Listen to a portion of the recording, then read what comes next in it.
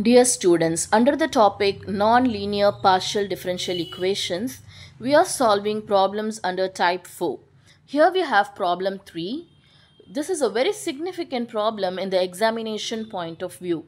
The question is to solve z equal to px plus qy plus square root of 1 plus p square plus q square.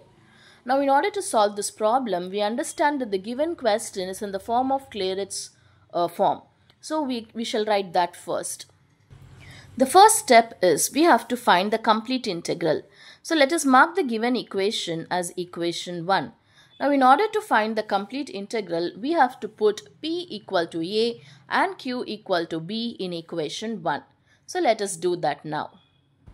So put p is equal to a and q is equal to b in equation 1. So what we get is z is equal to, instead of p we have to replace it by a. So ax plus, instead of q we have to replace it by b. So by plus square root of 1 plus, so p we have here. So a square plus q square is b square. So this is the complete integral so we have found the complete integral. So this gives the complete integral. The next step is we have to find the singular integral.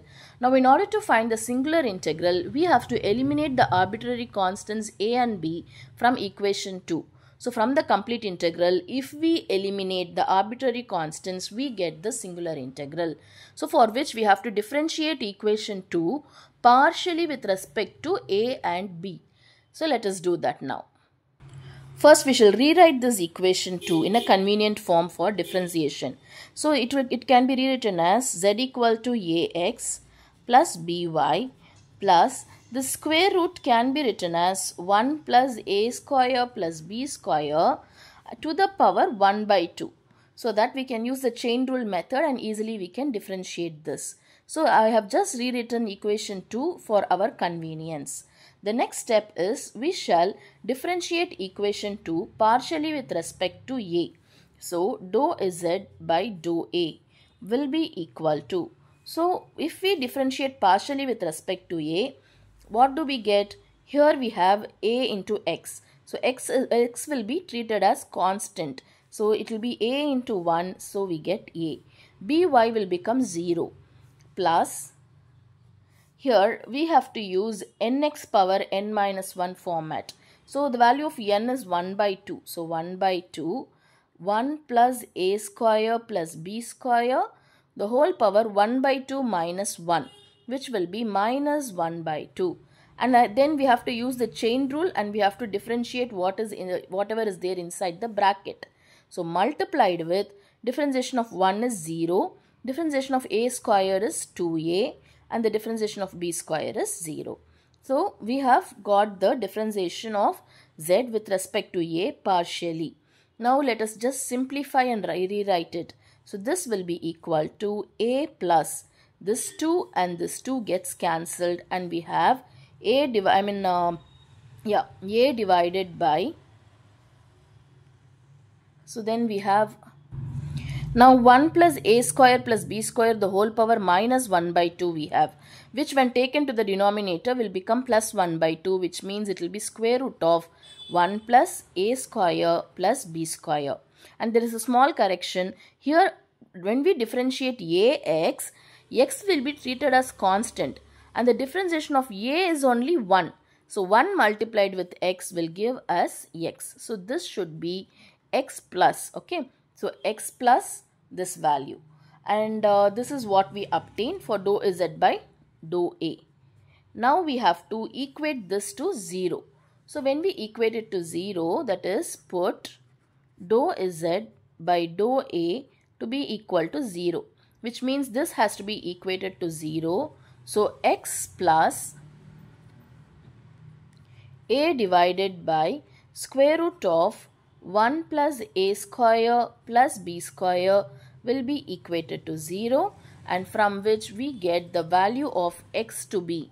So what will be x? x will be equal to negative a divided by square root of 1 plus a square plus b square. Let us just mark this as equation 3. So let this be equation 3. In a similar way, we have to differentiate z partially with respect to y. So we get dou is z by dou y. So now when partially differentiated with respect to y, ax will become 0. Now by has to be differentiated. y will be treated as constant. Differentiation of b is 1. So we will have 1 multiplied with y. So it will be y plus. Here we will have 1 by 2. 1 plus a squared plus b squared to the power 1 by 2 minus 1 which is minus 1 by 2 and then chain rule method multiplied with, dif with differentiation of 1 is 0. Differentiation of a square is also equal to 0 because we are differentiating with respect to b actually. So this is dou z by dou b not y dou z by dou b. So because we are differentiating with respect to b 1 and a square will become 0 and the differentiation of b square will be 2b. Now this 2 and this 2 will get cancelled and we get dou z by dou b to be equal to y plus this um, 1 plus a square plus b square the whole power negative 1 by 2 when brought to the denominator this negative 1 by 2 becomes positive and so we will be having b divided by square root of 1 plus a square plus b square. So we have got dou z by dou b. Now we have to put dou z by dou b to be equal to 0. So when we put it as 0, we have we get y plus b divided by square root of 1 plus a square plus b square is equal to 0. So when this is equal to 0, we get the value of y to be equal to negative b divided by square root of 1 plus a square plus b square. So this is equal this can be marked as equation 4 because previously we have marked uh, this as equation 3 and so this is equation 4.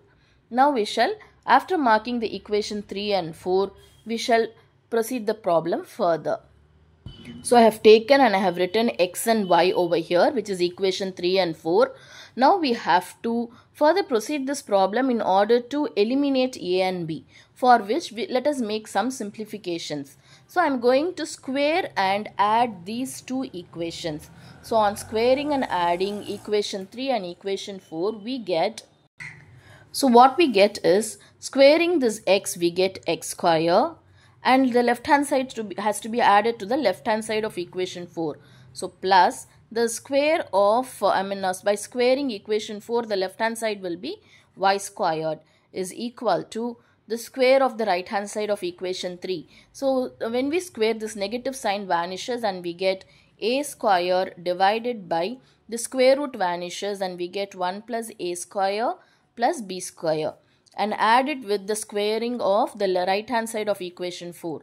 So when we square this, this negative sign vanishes and we get b squared divided by square root also vanishes and we get 1 plus a square plus b square.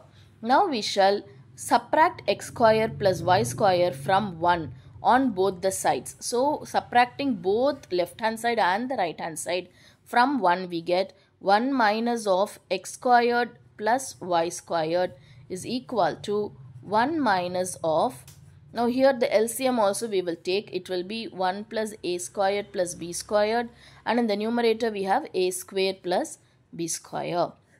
Now on the right the LCM is uh, 1 plus a square plus b square and so it will be when, when this is multiplied with 1 we have 1 plus a square plus b squared minus a square minus b square. So we can see that on the left we have 1 minus x square minus y square. So on the right this plus a square and minus a square gets cancelled plus b square and minus b square gets cancelled and so finally we get 1 minus x square minus y square to be equal to we are left out with this 1 so 1 divided by 1 plus a square plus b square. Now from this we get Taking this to the left and this to the right, we will have 1 plus a square plus b square to be equal to 1 divided by, when this comes to the right, it comes to the denominator. So 1 minus x square minus 1 square.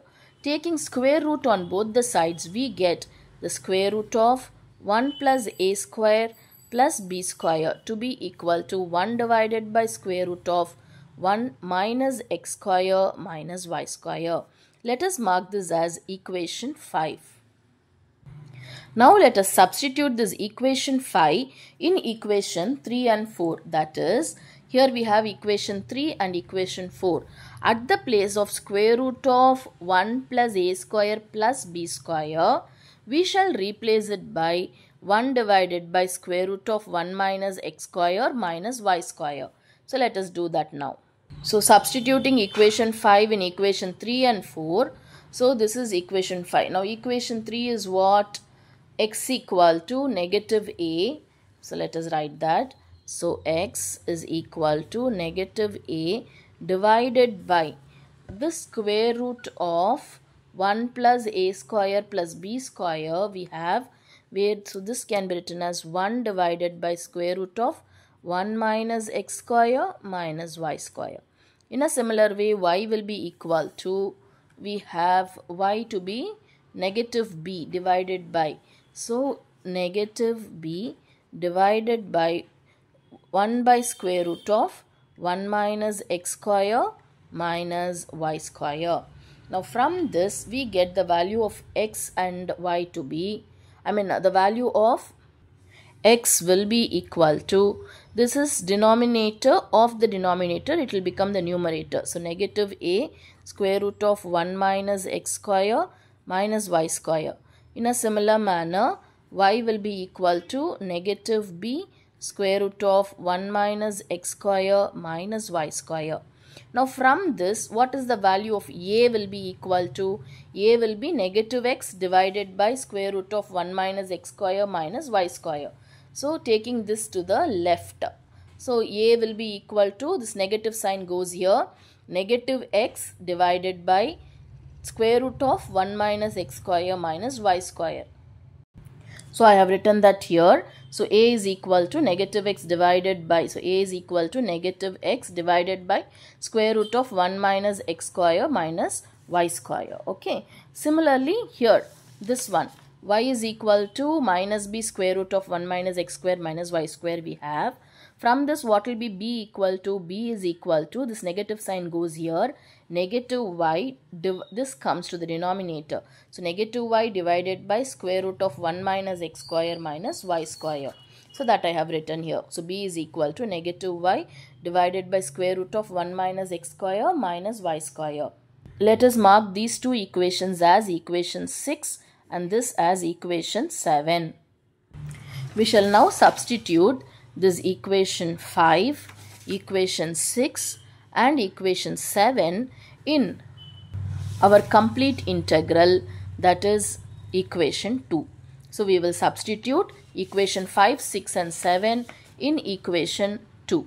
So what we will get is equation 2 is what z equal to ax. So z is equal to ax. But what is a? a is negative uh, ax. So when we multiply x with a, we get x square here. So x square divided by square root of 1 minus x square minus y square. And then what we have plus by. See if you uh, here we have plus b ax is over by. So with with this b if you multiply y we get so plus uh, we have the negative sign no? So we will put that negative sign here. Y square divided by square root of 1 minus x square minus y square. And then what we have? We have square root of 1 plus a square plus b square. What is that? Square root of 1 plus a square plus b square is 1 divided by square root of 1 minus x square minus y square. So we will substitute that. So plus 1 divided by square root of 1 minus x square minus y square. We shall now simplify this. So when we take the LCM on the right, the LCM is square root of 1 minus x square minus y square and in the numerator we have negative x square negative y square plus 1. So this can be rewritten as z equal to 1 minus x square minus y square divided by square root of 1 minus x square minus 1 square. We can cancel these two and this here we have uh, square root. So from this we get z to be equal to square root of 1 minus x square minus y square. Now in this squaring on both the sides we get z square to be equal to on squaring this square root vanishes and we get 1 minus x square minus y square. Taking this negative x square and negative y square to the left we will have x square plus y square plus z squared to be equal to 1. So this is the required singular integral for the given question. That is z equal to px plus qy plus square root of 1 plus p square plus q square has the singular integral as x square plus y square plus z squared equal to 1. This problem is very significant in the examination point of view. So kindly go through it patiently. So hope you have understood this problem. Thank you.